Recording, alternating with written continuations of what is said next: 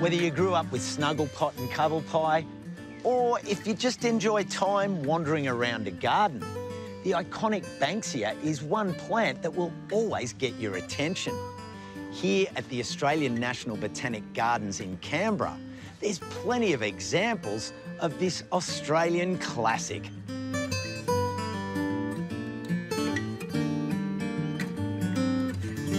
The 50th anniversary Banksia Garden is relatively new and the layout has been carefully designed for visitors to enjoy the collection, while ongoing research takes place.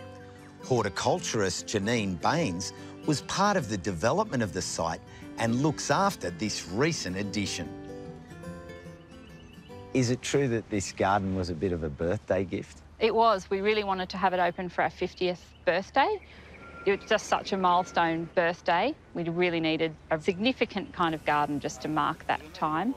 And the Banksias themselves, what is it about them that make it such an interesting plant? So they're found all over the country. So a lot of species in the southwest of Western Australia, then right up to the more arid parts of the middle of Western Australia. There's one species that occurs in Kakadu, and then there's a lot of species that run down the east coast and through South Australia. So how's the garden laid out? We've put the western species on this side costa, which is really because we needed to build up that drainage enough for those Banksias to be happy. So all the fussy ones are on this side. So they're in a mix of sandstone and ash, very little kind of organic material in that side. The eastern side is the, the soil that was actually in there already, and we've just capped it with sandstone, which is really just about aesthetics more than anything else. There's a lot more variety amongst the western species than there is among the eastern, probably because there's a wider variety of habitats that they live in.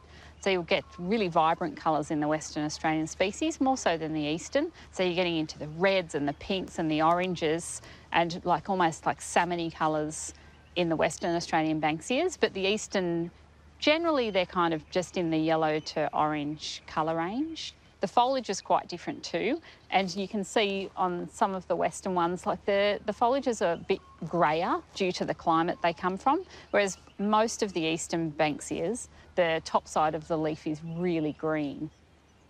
So how important is fire in the life cycle of Banksias? Banksias rely on fire to germinate seed. Some Banksias have a lignotuber as well, which assists them to survive fire, so they will grow back from that. So they're not just relying on the seed. We just wanted to display basically what a burnt Banksia cone looks like and what then happens after a fire. So, you know, in the bush you would have the burnt Banksia cones there and then you see down here we've got little seedlings coming up from the open follicle that the fire has opened. So it's just showing that story of regeneration, just such a fantastic fire story that it's not all about the end, it's also about the new beginning for the new plants.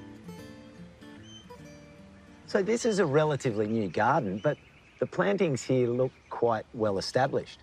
We really wanted them to look established for, from an aesthetic point of view, to already be flowering was important, but also just they cope better with the winter if they're a little bit further off the ground.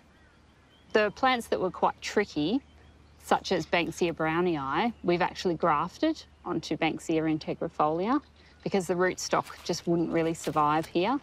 You can see the graft line here. Yeah, it's really easy Yeah, to see amazing. that difference. And so there's Banksia integrifolia underneath, and then the Banksia brownii has been grafted onto the top, and it's working really well.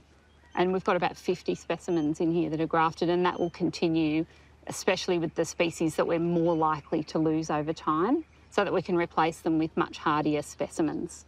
A grafter plant is buying you time more than anything. The soil here in Canberra is often heavy clay. How did you go about dealing with those conditions for the Banksia? We did a lot of work on the media that we used rather than using soil.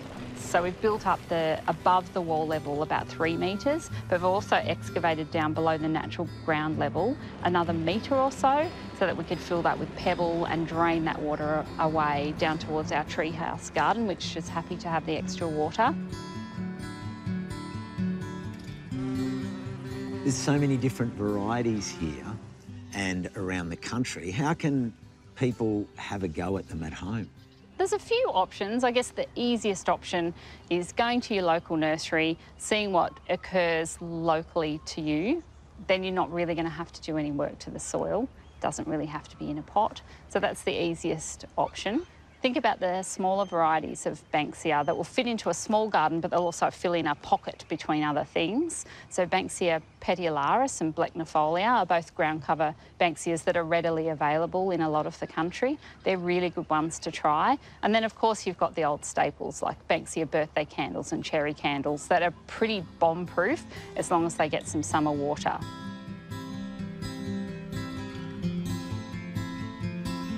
You and the Hort team have done such an incredible job to bring the garden to this point. What's the future hold? The future is really about replacing the plants that we've put in now with grafted specimens because we think that long term that's probably the best option for our most tender of species and planting them at the right time of year. So really designing our program for planting so that we're not putting things in, in here just before winter. Yeah, we're really proud of what we've done and it's been a labour of love. We're all very passionate. And Banksias, I mean, who doesn't love Banksias? They bring something to the party every season.